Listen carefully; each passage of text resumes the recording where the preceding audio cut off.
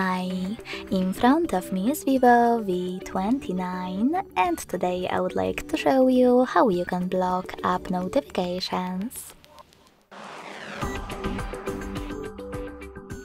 Begin by opening device's settings and scrolling down just a bit to access notifications. Following that, select App Settings at the top and then choose Most Recent.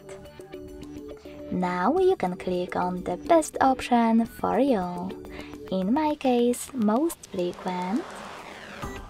And last but not least, click on the blue sweater next to one of your apps from which you want to block notifications. In order to turn them back on, click on the same now grey sweater.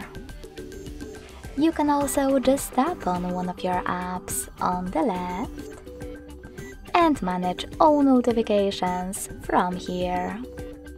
Thanks so much for watching. If you enjoyed this video, smash that like button, comment and subscribe.